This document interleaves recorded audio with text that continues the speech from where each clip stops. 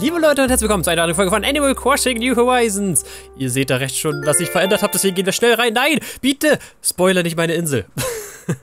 Rudolf, du böser, böser kleine Wicht. Heute ist der 1. Mai, deswegen ist jetzt dieses Mai-Fire-Eye-Event. und die Melinda wird bestimmt dazu was sagen. Hallo liebe Bewohner, es ist Freitag, der 1. Mai. Heute beginnt die Mai-Feierei. Feierei. Es ist nämlich nicht das Feierei, wie ich zunächst dachte, sondern es ist, es ist die Feierei. Kommt alle ins Service Center und holt euer Mai Feierei-Tickets. Ja! Ein kleines Dankeschön von Nook Inc. an die Inselgemeinschaft. Das wird toll. Ein Trip zu einer weit entfernten Insel. Etwas Erholung. Hm, dafür seid ihr ja schon hier. Tja, naja, das wird auf jeden Fall sehr spaßig. Also sprecht mit Herrn Nook im Service Center.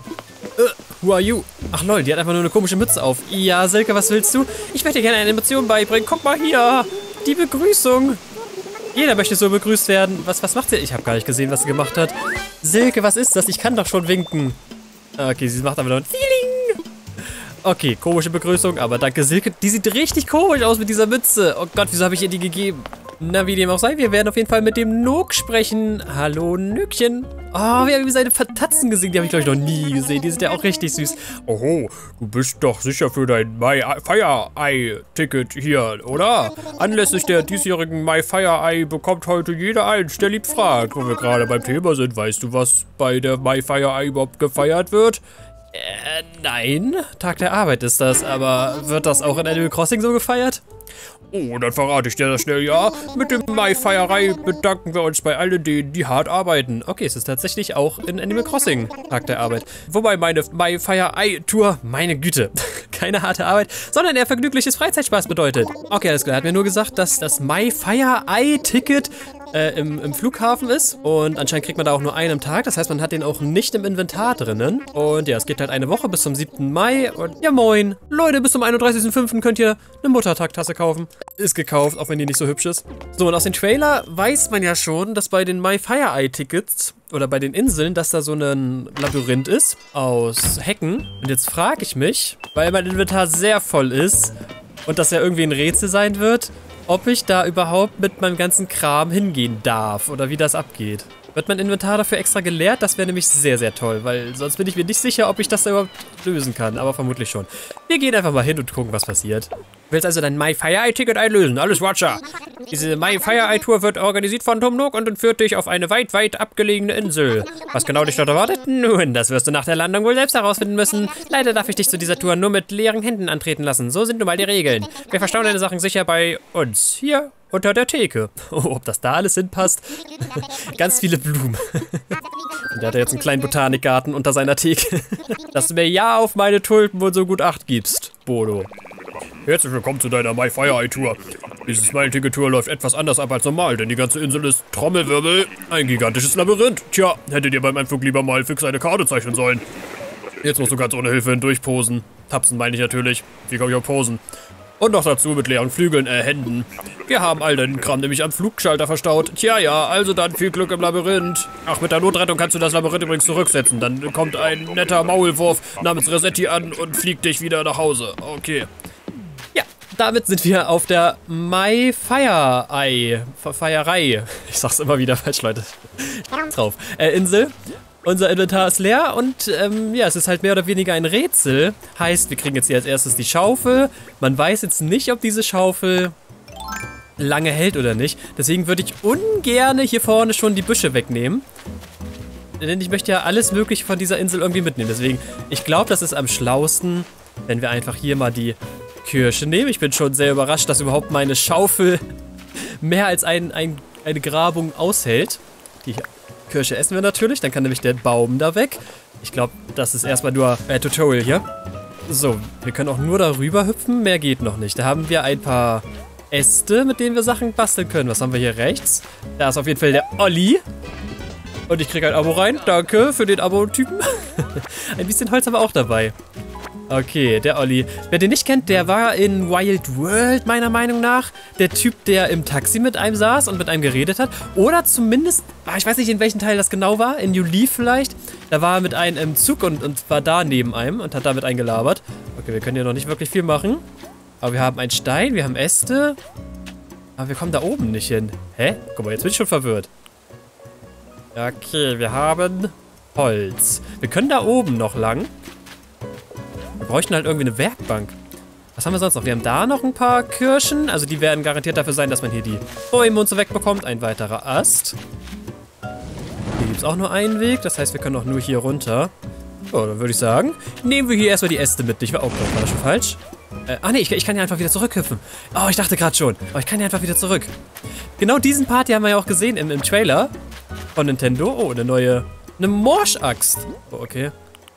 Morschaxt heißt dann wahrscheinlich, dass die sehr, sehr schnell kaputt geht. Dann haben wir genau das hier gesehen. Oh boy, ich möchte nichts falsch machen.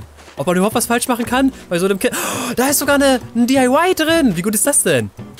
Okay, da rechts. Doch, wir kommen dahin, wenn wir wollen würden. Nee, kommen wir nicht, weil wir keine Kirsche haben. Okay, let's see. Was haben wir jetzt genau? Wir haben eine Morschaxt. Damit könnten wir irgendwas kaputt machen. Wir könnten zu einem den Baum hier oben kaputt machen. Dann würden wir an zwei Kirschen rankommen und ein, einem Ast. Hier unten können wir den Baum auch kaputt machen, also da rechts. Da würden wir aber nur an zwei Kirschen kommen. Ich glaube, das lohnt nicht. Deswegen würde ich den hier, glaube ich, kaputt machen, oder? Ja, ich glaube, Kirschen sind gut. Also raus mit der Morschaxt. Stirb, du Baum. Äh, äh, äh. Ja, das habe ich schon fast gedacht, dass die Axt beim, beim ersten Mal benutzen gleich kaputt geht. Und wir sparen uns natürlich unsere Schaufel und gehen einfach so rüber. Nicht, dass unsere Schaufel auch noch irgendwie kaputt geht. Soweit so gut. Wir haben jetzt eine Kirsche mehr. Mit dieser Kirsche können wir halt richtig viel machen. Wir können damit zum einen hier... Nee, können wir nicht. Doch, irgendwie kamen wir da auch ran, ne? Dann wären wir zumindest schon mal an dem DIY. Und dahinter ist sogar noch eine Kirsche. Das klingt doch gut. Also, wir essen eine Kirsche. Eine Kirsche für eine Kirsche austauschen, das wird ja wohl kein Problem sein, oder? Ich hoffe halt, die Schaufel geht jetzt nicht kaputt. Okay, danke. Wieso kam da kein Stein raus? Das sind sogar zwei DIYs. Ich bin ja fasziniert. Ach, und hier haben wir sogar noch eine, eine Werkbank. Da könnten wir jetzt auch sofort dran. Ist die Frage, haben wir jetzt schon genug Zeug dafür? Was haben wir denn hier? Eine Wackelaxt und eine Axt. Ach, lol. Die kenne ich bereits. Ach so. Ja, die kenne ich beide bereits. Okay, die Bastelanleitung. Schade, ich dachte, man kriegt hier spezielle Bastelanleitungen. Okay, warte, aber wir haben zwei Äxte bekommen, die wir dann hier machen sollen. Also für die Wackelaxt braucht man fünf Äste und einen Stein. Den haben wir. Und für die normale Axt bräuchte man noch Eisenerz. Stimmt, eine Wackelaxt bringt uns halt auch gar nichts alleine hier, ne? Ich könnte diesen Baum jetzt schon wegnehmen, aber das bringt mir halt noch gar nichts, wenn ich kein Eisen habe. Ich guck lieber nochmal. Gibt es hier irgendwo noch Eisen? Also hier könnten wir zumindest aus einer Kirsche zwei Kirschen machen. Das sollte ja schon mal kein Problem sein. So, eine Kirsche. Dann können wir den Baum hier mitnehmen. Und kriegen zwei weitere Kirschen. Da ist das Eisenerz. Okay, das heißt, der Baum da muss weg. Aber wie zur Hölle komme ich da hin? Ah, ich muss von unten dahin kommen. Ja, okay, also der Stein muss weg. Ah, ich bin hier völlig lost. Wo muss ich hin? Ich komme da unten nicht hin. Also Ziel ist auf jeden Fall hier oben bei den drei Bäumen. Ah, hier muss ich runter, ne? Genau. Ja, hä? Ah, phew. Okay, wir müssen, wir müssen den ersten Weg gehen bei diesen drei drei einzelnen Löchern. Heißt hier runter, dann über den ersten und dann ins erste Loch rein und dann hier links rüber. Genau, und hier kommen wir dann in unser Eisenerz. Holy crap, okay, das ist wirklich ein krasses Labyrinth. So was ähnliches könnte man ja auch auf seine eigene Insel machen, oder?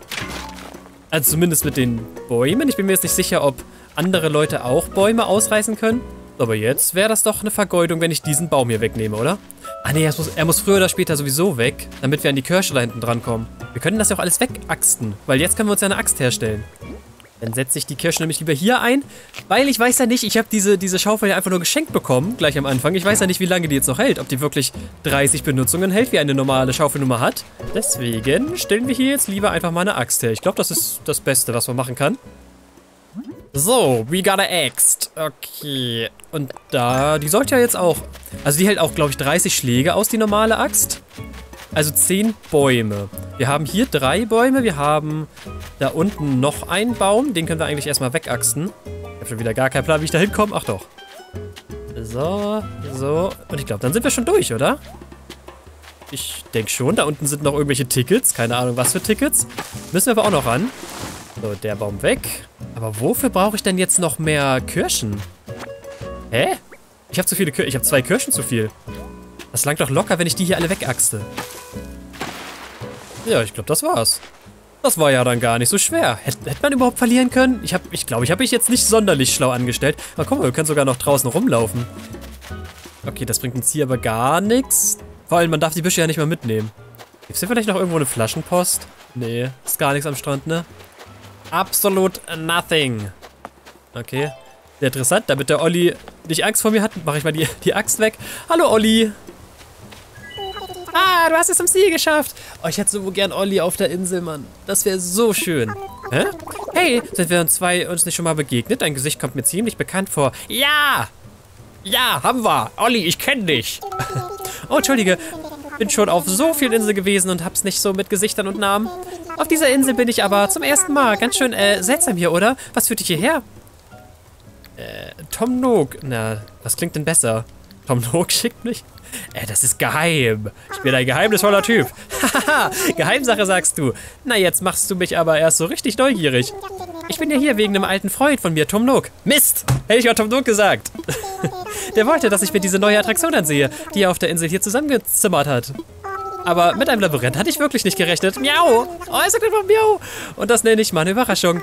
Warte mal, wenn du auch hier bist, heißt das dann etwa, du kennst, du kennst den guten Tom Nook auch? Das ist ein Geheimnis, wie gesagt. Na, du bist mir ja ein ganz schön Geheimniskrämer.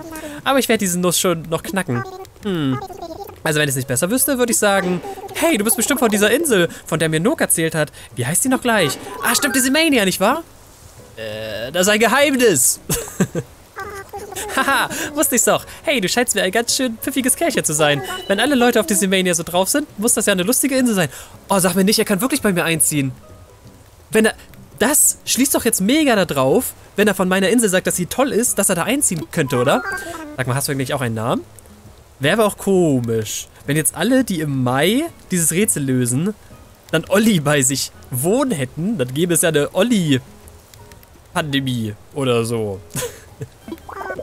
Aha, so, so. Dizzy also, ja? Na, das nenne ich doch mal einen richtig duften Namen. Freut mich, dich kennenzulernen, Dizzy. Hier ein kleines Andenken an unser Treffen. Nein, zieh bei mir ein. Ich habe auch Heinz bei mir. Ihr werdet euch bestimmt gut verstehen. Hat mich echt gefreut, dich getroffen zu haben. Und ausgerechnet hier, wenn das mal nicht Schicksal war. Hätte echt nicht gedacht, dass ich auf einem abgelegenen Inselchen so viel Spaß haben würde. Hoffentlich laufen wir uns bald mal wieder auf den Weg. Das Schicksal wird schon einrichten. Also bis dann. Miau. Man könnte es nochmal von Anfang an machen, wenn man die Notrettung macht. Aber ich glaube, ich habe soweit alles mitgenommen.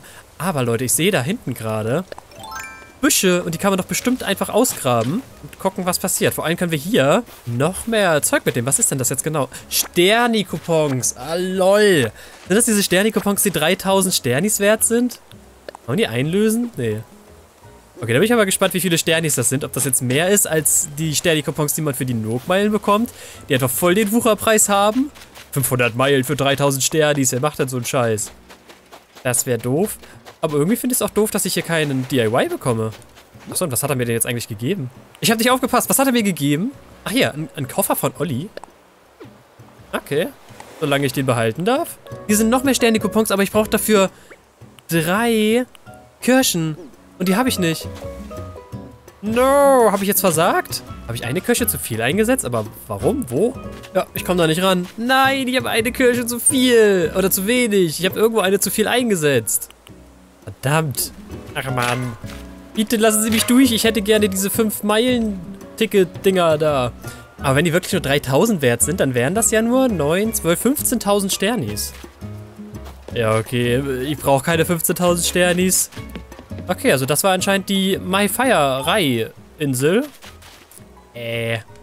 War witzig. Bin gespannt, ob die jetzt wechselt die nächsten sieben Tage oder wie das abgeht. Ob das jetzt aber dieselbe Insel ist, das wäre vielleicht ein bisschen lame. Aber okay. Was, du hast eine Zufallsbekanntschaft auf dieser Insel hier bekommen. Mach Sachen. Nur keine Sorge, Dodo, als wird dein kleines Geschenk lieben gern von dir vor die Haustür liefern. Okay, und er meinte gerade, man kann die Insel nur einmal anfliegen. Also wenn man jetzt nach Hause geflogen ist, ohne alles mitzunehmen, dann kann man das auch nicht nochmal versuchen. Aber während man halt auf der Insel ist, kann man diese Notrettung einsetzen, so oft man will, vermutlich. Aber ich glaube, die kostet 100 Meilen, wenn man die einsetzen möchte. Das heißt, für 100 Meilen könnte man dann versuchen, da diese Sterni-Coupons unten links auch noch irgendwie zu bekommen. Aber ich glaube, das ist mir nicht wert. Okay, wir haben das Zeug jetzt auch nicht im Inventar. Er meinte halt, das wird nach Hause geschickt im Briefkasten. Mal gucken, ob es jetzt schon da ist. Das sieht doch gut aus. Dann schauen wir doch mal, wie viel Sternis diese Coupons jetzt genau wert sind. Ob das wirklich diese 3000er sind. Hä? Kann man die nur bei Nooks Laden einlösen oder wie, wie läuft das? Okay, dann gucken wir uns so den Koffer von Olli an. Geil. Ollis Koffer mit ganz vielen Stickern drauf. Okay, der ist schon irgendwie süß. Den mag ich. Okay, werden wir irgendwo einen super Platz wahrscheinlich finden. Aber zunächst, ich möchte jetzt wissen, wie viel diese Sterni-Coupons wert sind.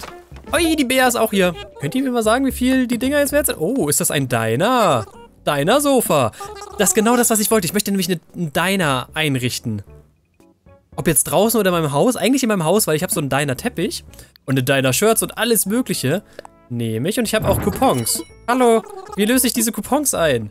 Muss ich die hier verkaufen, damit ich sie bekomme? Sterni-Coupons! Dafür können wir dir 12.000 Sternis anbieten. Okay, es waren vier Stück, das heißt, ja, jeder ist 3.000 wert. Man muss die bei den Nooks verkaufen? Bin mir nicht sicher, ob so Coupons wirklich funktionieren, aber ja, nimm. Ja gut, also das war dann ganz offensichtlich, noch nie diese Poster hier an der Wand gesehen, das My Feierei Event. Ganz witzig, bin wie gesagt gespannt, wie die nächsten Tage werden. Und dann war es das aber mit dieser kurzen Folge. Ich wollte hier jetzt nicht noch den anderen Kram machen, das kommt dann in der regulären Folge. Und ja, dann danke fürs Zuschauen, liebe Leute. Bis zum nächsten Mal. Und äh, tschüss. Lol.